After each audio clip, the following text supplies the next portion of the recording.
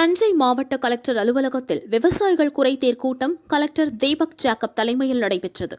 Delta மாவட்ட விவசாயிகளுக்கு இந்த ஆண்டு தீபாவளி கிடையாது என கோஷமிட்டபடி விவசாயிகள் சிலர் வந்தனர். தண்ணீரின்றி சம்பா தாளடி பயிர்கள் கருகுவதால் ஏக்கருக்கு முப்பதாயிரம் ரூபாய் நிவாரணம் வழங்க வலியுறுத்தினர். விவசாய கடன்கள் தள்ளுபடி செய்ய கோரி எண்ணெய் சட்டிகளை கையில் ஏந்தியபடி விவசாயிகள் கோஷம் போட்டனர். அவர்களை போலீசார் தடுத்தனர். இதைத் தொடர்ந்து கலெக்டரிடம் மனுக்களை கொடுத்தனர். அனைத்தையும் தள்ளுபடி செய்.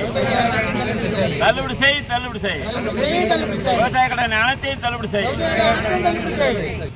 டெல்டா மாவட்டத்தில் இந்த ஆண்டு தீபாவளி கிடையாது. இதை தெரிவிக்கிற வகையில் மத்திய மாநில அரசுக்கு தெரிவிக்கிற வகையில் நாங்கள் என்ன சட்டியை எடுத்தாந்து கொண்டாந்துருக்கோம்.